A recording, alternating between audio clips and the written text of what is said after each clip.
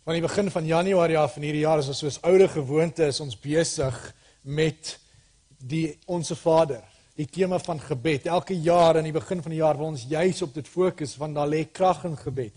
God hoor ons gebed. God wil luister. En so ons is besig met die onsse Vader, maar as ons kyk na die onsse Vader dan wil ons nie sê maar dit is die gebed wat ons elke dag moet bid nie. Dis nie 'n 'n 'n reimpie wat ons moet opsê. Dis meer as dit en ons sê ver oggend Jesus kom leer ons om te bid vanuit die onsse Vader uit. Want dit is so spesiaal. Ons het ons gaan later dit sing as gebed. En toe die aanbiddingspan hierdie week geoefen het, hulle sê eintlik kan ons dit nie oefen nie, want gewoonlik met die onsse Vader is dit die gemeente wat eintlik lei. Want elkeen van julle het groot geword met 'n ander weergawe, is dit nie? Party van julle sê vergeef my sondes. Ander sê vergewe my sondes. Ander sing hom vinnig. Ander sing hom stadiger, nê? En dan kom jy Australië toe, dan is 'n ander weergawe van die Onse Vader. In 'n ander woorde, die punt wat ek wil maak uit dit uit is, wanneer ons praat oor die Onse Vader, dan hier het nie gesê hier is die gebed nie, hy het gesê kom ek leer jou hoe om te bid. En is vanuit hierdie wat ons leer om te bid en ons vinnig kyk na die die weke wat ons gesê het die afgelope tyd, dan sê ons maar Vader, daar's 'n struktuur wat U eintlik vir ons om om U kom gee. En ek het nou 'n baie basiese, baie basiese eenvoudiger struktuur gedoen met net 3 as gewoonlik 'n langer struktuur. Maar as ons na dit kyk, dan sê ons so moet julle bid, ons Vader wat in die hemel is, laat U naam geheilig word, laat U koninkryk kom, laat U wil ook op die aarde geskied word, net word net soos in die hemel, dan sê ons ons aanbid God as Vader. Die eerste fokus van daai gebed leer ons dan Jesus kom en hy sê maar jou eerste fokus moet op God wees, aanbidding van hom. Hy is die een wat in die hemel is. Hy is die een wat regeer het ons gesê hy is te weet. Maar hy regeer as ons Vader. Ons is sy kinders. Wat die koninkryk kom is die is eintlik 'n stukkie hoop vir ons. Ons aanbid U want U kom terug. Laat U wil geskied. Ons aanbid U want U wil is goed, Vader. Help my om dit te doen. So daai eerste fokus, die klem wat Jesus vir ons sy disippels kom leer en vir ons is aanbid God as Vader. Dan kom ons by gee ons vandag ons daaglikse brood en vergeef ons ons oortredinge sodat ons ook die vergewe wat teen ons oortree. En dit is eenvoudig God se as versorger Hy versorg vir ons fisiese nood, ons daaglikse brood, ons geestelike nood, vergifnis, dan ook in dit psigies ook. Versorg vir my, Vader. En dan die laaste gedeelte is dan vir oggend se fokus en laat ons nie in versoeking kom nie, maar verlos ons van die bose. U God is ons beskermer. Beskerm ons. Met ander woorde, as ons wanneer ons na die onsse Vader kyk, dan ons eerstens ons sê ons is afhanklik van God af, want ons is swak. Daar's nou 'n paar sterk manne hierso. Sterk as ek. Maar in God se oë is ons almal swak. En dan sê ons maar God, ons wil op U fokus. En dis wat hy ons kom leer. Nou kom ons lees dit. Nie vir die laaste keer vir hierdie jaar nie, maar vir nou in hierdie reeks. Ons Vader wat in die hemel is, laat U naam geheilig word. Laat U koninkryk kom. Laat U wil geskied soos in die hemel so ook op die aarde. Gee ons vandag ons daaglikse brood en vergeef ons ons sondes soos ons die vergeef wat teen ons gesondig het. En bring ons nie in die versoeking nie, maar verlos ons van die bose magte. Verlos ons van die bose magte, bring ons nie in versoeking nie. Versoekings, versoekings, versoekings. As jy in hierdie wêreld is, nou op hierdie aarde, is daar versoekings. Jy gaan nie daarmee wegkom nie. Dit gaan jou pla. Jou hele reis lank. Dit word nie al hoe minder nie soos ons meer sterker raak in God nie. Dit's altyd daar. Maar soos ons sterker word, soos ons groei nader aan Christus, dan leer ons hoe om dit te veg. En dit is wat Jesus vir ons kom sê hierso. Daai woord versoekings hier in die woord is eintlik dubbelsinnig. Dit gaan oor versoekings, temptations wat ons ontvang, maar dan ook toetse soos in Jakobus. En net soos ons dink aan die helde van die Bybel, hulle was versoek, Adam en Eva was versoek. Dis hoe kom ons in hierdie sondige wêreld leef? Ons dink aan Josef. Hy was versoek. Hy het dan weggehardloop en sy een van syne van die vrou af. Ons kan baie by hom leer. Dawid was versoek uitgeval, Salomo versoek geval. Petrus versoek geval. Die enigste een wat versoek is wat nie geval is Jesus Christus. En so ons kan by hom leer wanneer hy vir ons kom leer bid. Dan leer ons by hom. Die eerste kerkvaders was versoek. Inteendeel van hulle het so gelewe en besluit nee, maar ons wil wegkom van hierdie lewe af, hierdie wêreld af. So ons gaan in 'n grot gaan woon.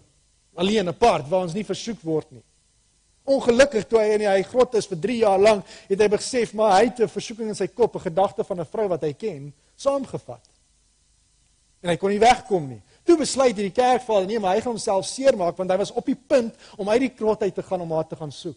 En toe besluit nee, hy gaan homself seermaak en hy het homself met 'n lemmetjie gesny om homself te wond sodat hy nie gaan nie. Maar so is die geveg wat ons het in hierdie wêreld. En jy as Christen moet veg. En vir oggend kom leer ons juis van Jesus af.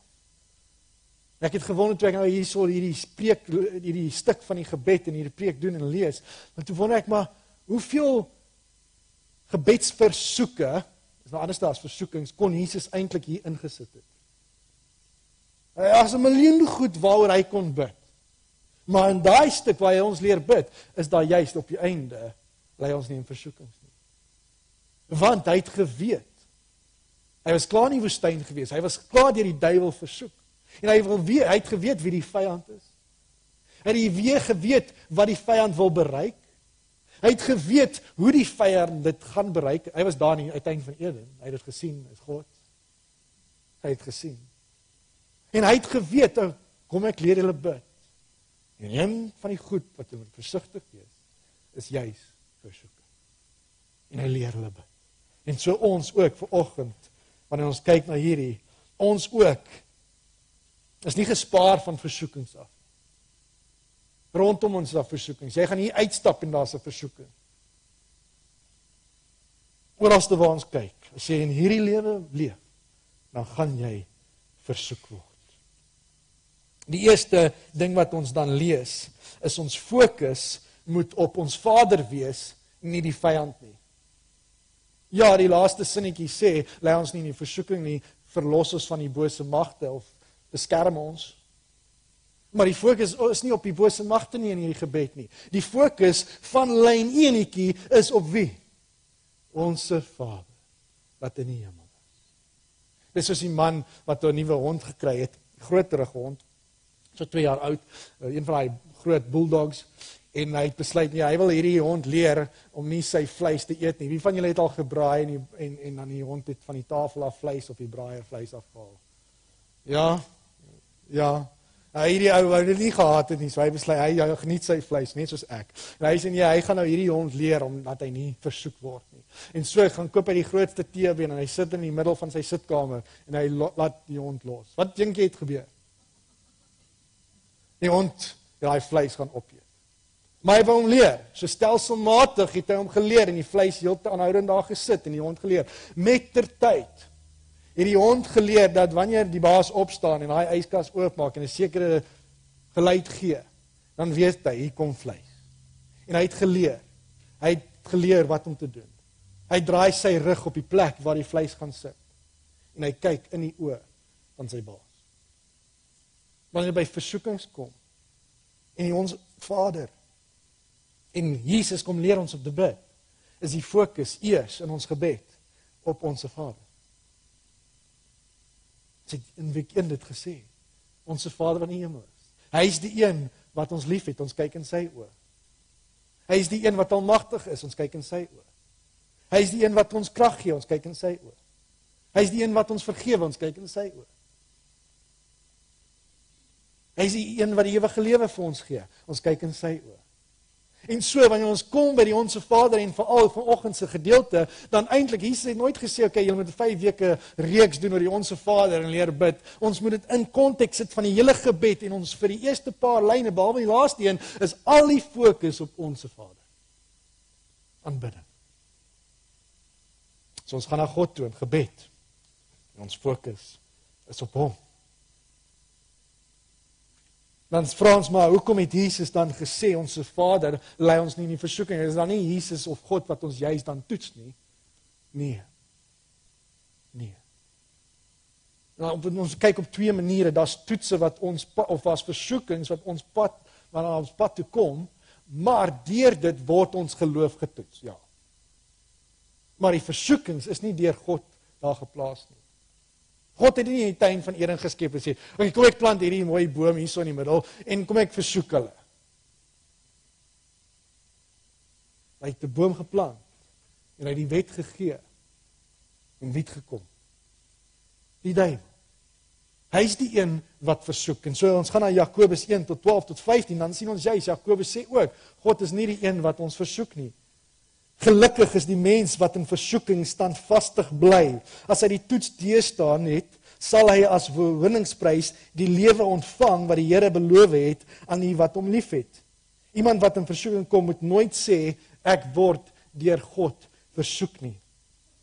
Want God kan nie verlei word nie en self verlei hy niemand nie. Maar mens word verlei deur sy eie begeertes wat hom aanlok en saamsleep. Daarna as die begeertes bevrug geraak het, bring dit die sonde voort en as die sonde ryp geword het, loop dit uit op die dood. So wat het gebeur in die tyd van Eden? God plant die boom, hy waarsku ons, wat doen gebeur? Die duiwel kom en hy is die een wat versoek. Hy is die een wat ons aandag aftrek van God af na die boom toe. Voor dit was hulle aandag nie op die boom nie. Hulle het vergeet van die boom. Dan was hy kom tot die boom. Maar tot die duiwel kom, toe sê hulle, "O, okay. Hy's die een wat versoek, nie God nie." So, ons praat oor ons Vader, hy's die een wat ons liefhet, hy's die een wat ons die oorwinningsprys gee, sê Jakobus. En ons fokus op hom.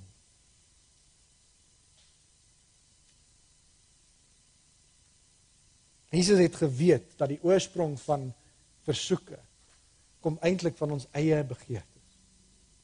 Ons moet nou regtig eerlik wees met onsself. Dis ek wat begeer. Dis ek wat soek. Dis ek wat wil hê. Dis my wil. En ons het gepraat daaroor in week 2, my wil. En die duiwel kom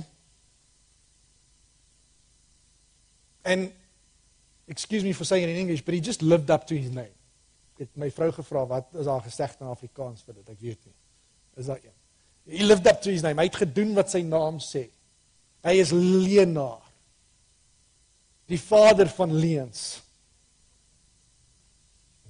Hy is die vyand Efesiërs 6 vers 11. Hy is die een wat verlei 2 Korintiërs 11. En hy is die brullende leeu wat verslind 1 Petrus. En hy doen net wat sy naam sê. Hy kom hy wil ons kom verslind. Hy wil kom leuns vir ons vertel. Hy wil ons kom versoek. En die manier wat hy doen dit is deur versoekings. Hy weet wat ons begeer. Hy weet wat ons hart soek. Hy het geweet wat Jesus na 40 dae sal wil hê brood. En hy versoek hom met dit. En so vir jou ook. Hy weet wat jy wil hê. Jy sien die duiwel gebruik dieselfde metodiek vir al hierdie eeue lank. En as ons die vyand se metodiek kan ken, dan kan ons gewapen word. Dan kan ons dit veg. En al wat hy doen is hy vat, hy verpak iets slegs, sonde, 'n begeerte in iets moois. Kyk sjokolade. Ryk lekker, lyk lekker, proe lekker. Maar te veel van sjokolade maak nie lekker nie.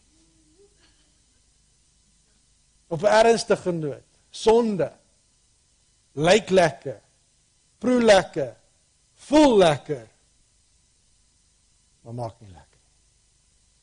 Hy verpak iets slegs in iets moois. Dis die duiwel.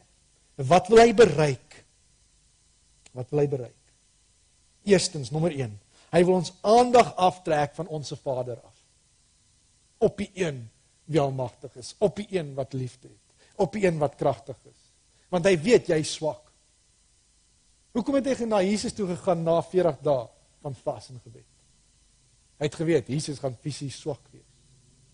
Moontlik emosioneel swak as mens, as mens.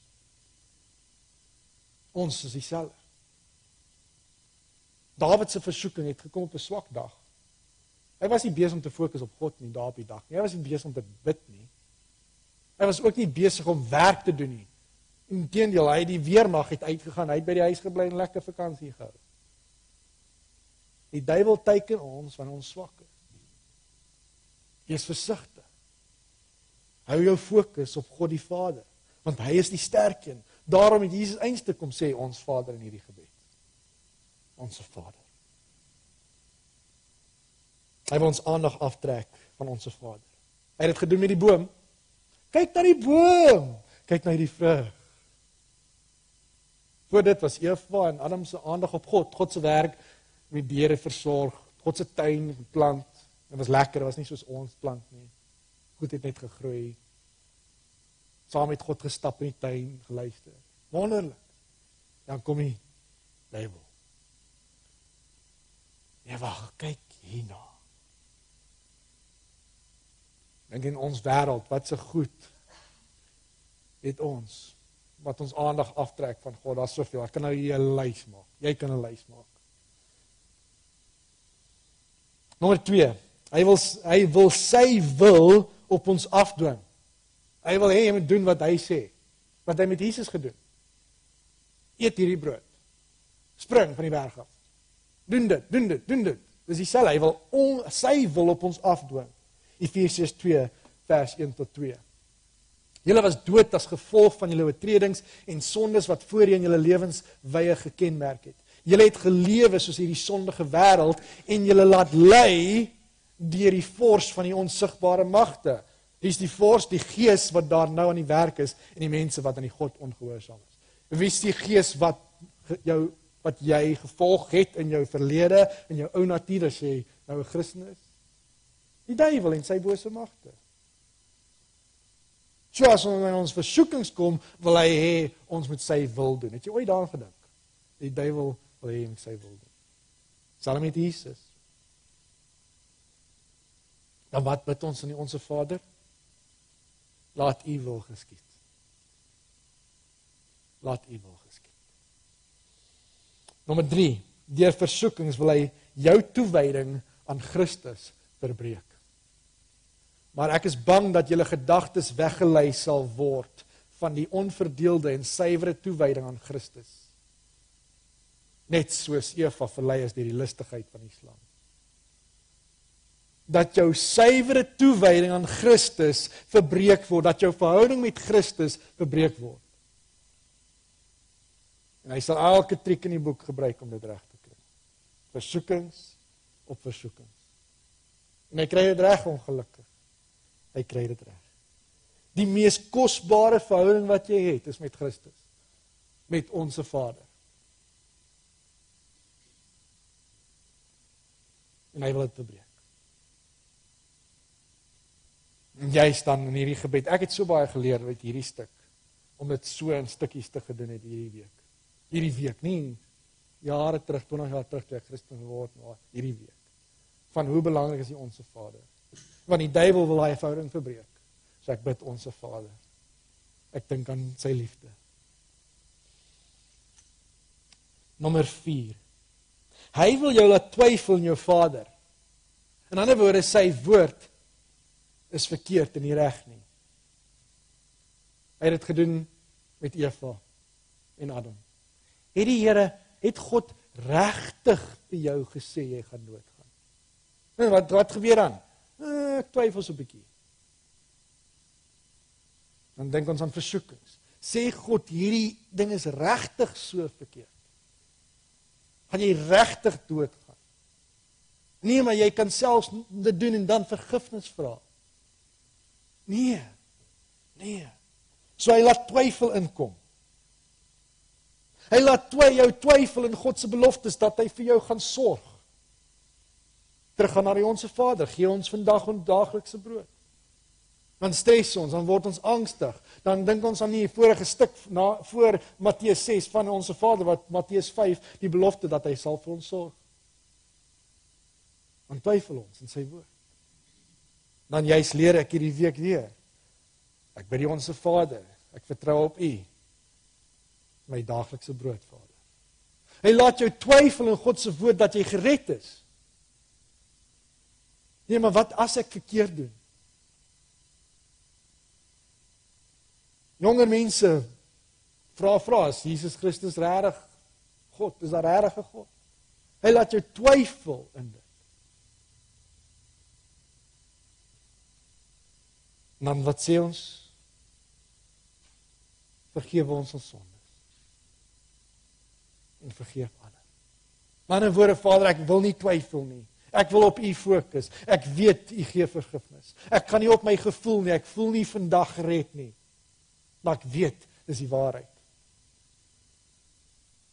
Kan julle begin sien die fokus van ons Vader is op ons Vader en nie die ander goed nie.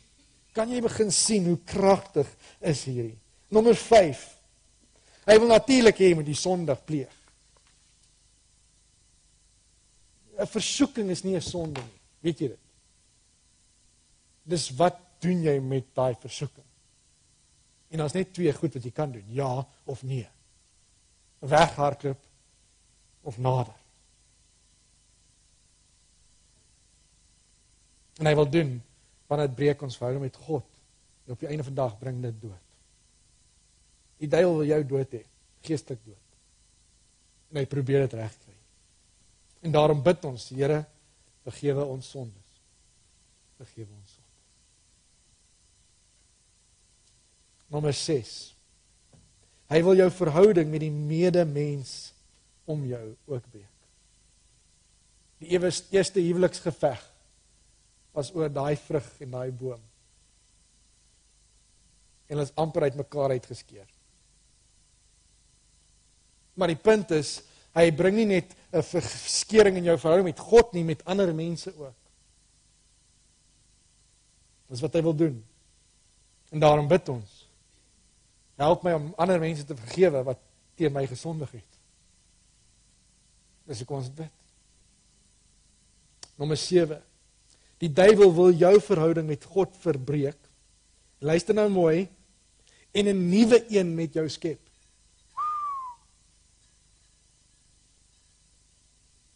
Glo jy dit? Ons gaan na Jesus se versoeking Matteus 4.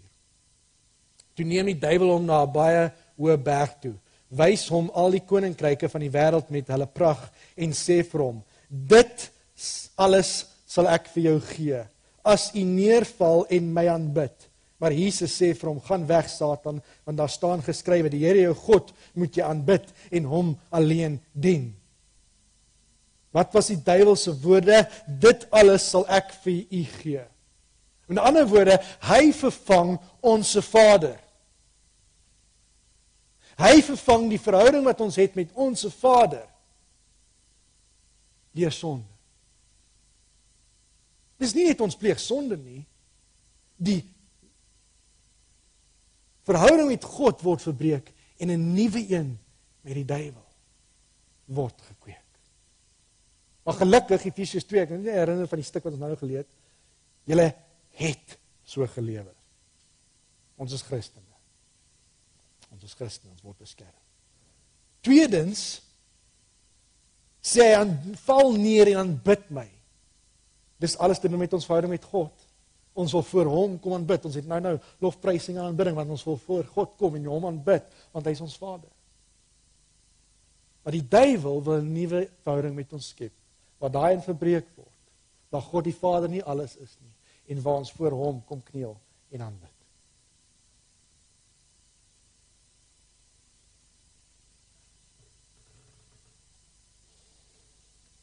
Hy sê ook soos ons nou gesê kom luister eintlik na my.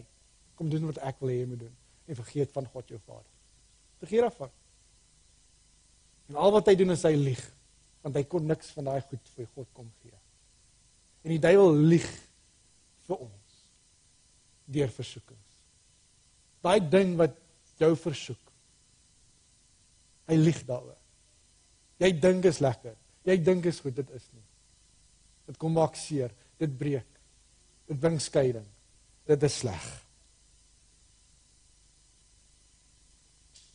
Hy het dit gedoen met Jesus. En wie is ons dat hy nie met ons dit ook gaan doen? Nou is die vraag hoe oorwin ons versoekings? Help Vader. Eerstens onsse Vader. Jesus is die oorwinnaar. Maar dank ons, maar ons dank God dat hy aan ons die oorwinning gegee deur ons Jesus Christus. Onse Vader wat in die hemel is, ons dank U vir oggend dat U Jesus gestuur het om vir ons oorwinning te gee. Dankie Vader. Dankie Vader. In Johannes 5 vers 4 wat enige een wat 'n kind van God is, kan die sondige wêreld oorwin. En die oorwinning wat ons oor die wêreld behaal het, is deur ons geloof. Wie anders is dit wat die wêreld oorwin as hy wat glo dat Jesus die seun van God is? Let op hy woorde en die oorwinning wat ons oor die wêreld behaal het. Het verlede. Ons het dit klaar behaal as gevolg van Jesus. Nee, maar ek val nog steeds. Ja. Soms. Wat doen ek as ek dan val? Wat doen ek as die versoeking my mislei? Dan vra jy dadelik vir God vir vergifnis, onsse Vader. Vergewe ons sondes. Wie het dit geweet? Jesus het geweet. Maar dan kyk ons in die Vader se oë vir daai krag.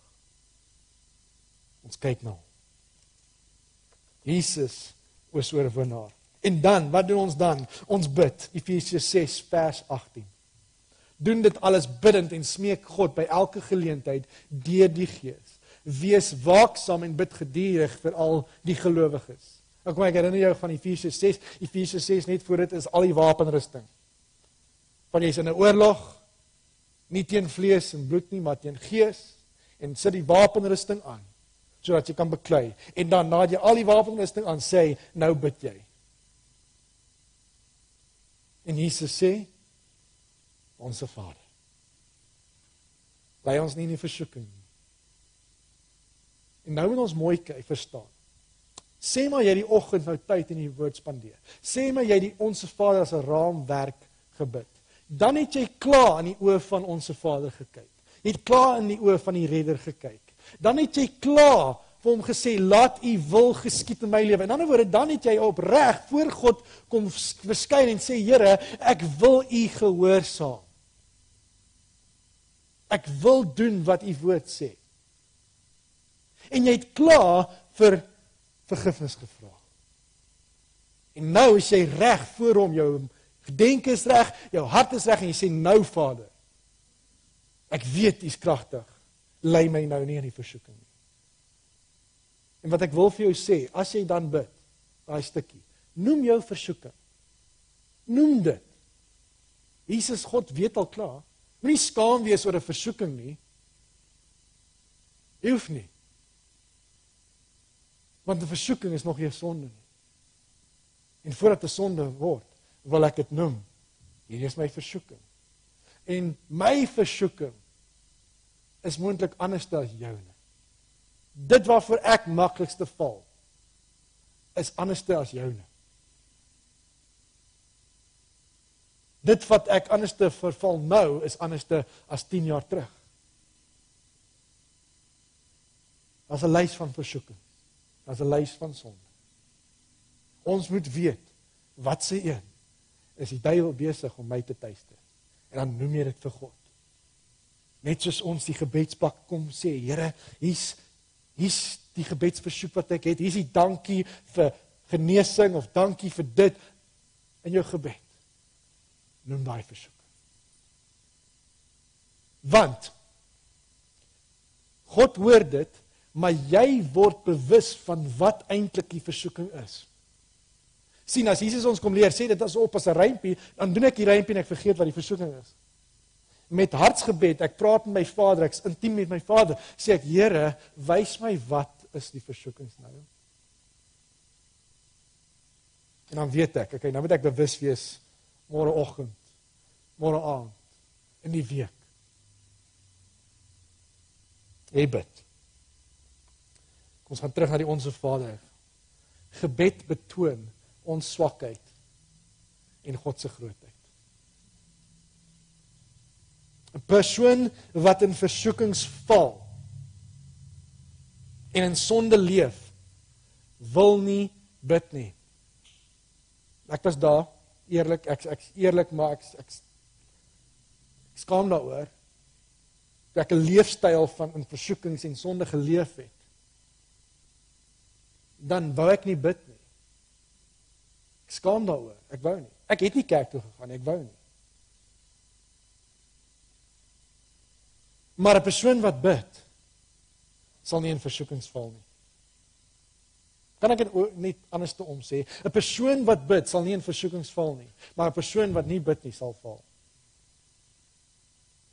Die krag lê in gebed.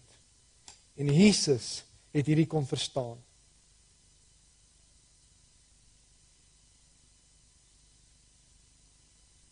Ek gaan in hierdie wêreld as Christen versoekings op jou pad kom.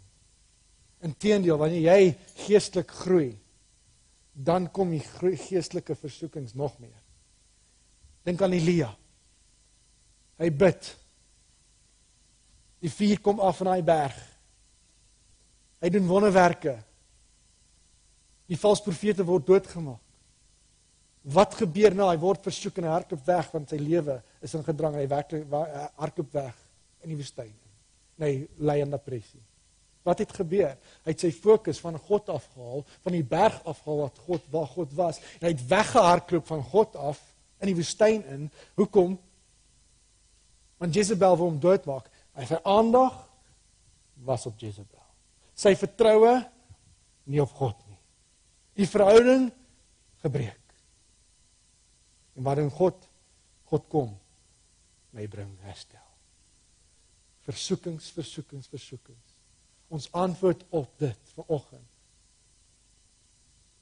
is Vader Vader Vader onsse Vader. Kom ons bid en dan gaan ons staan en die, onsse Vader bid as 'n gebed. Vader, dan kom ons voor U vanoggend en ons weet dat daar versoekings is. Ons weet dat baie keer is ons swak.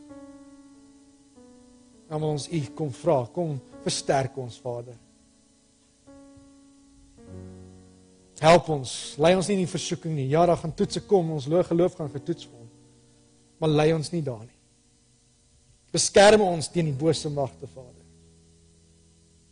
Wys wat die vyand wil kom doen. Wys wat die vyand en hoe dit hy dit doen in ons lewe kom doen en beskerm ons. Vader, want ons hartsverlange is na U. Ons hartsverlange is om U as Vader te ken, om diep in U oë te kyk en al ons aandag, al ons vertroue, al ons krag, alles wat ons nodig het op U te sit, want U is so goed vir ons.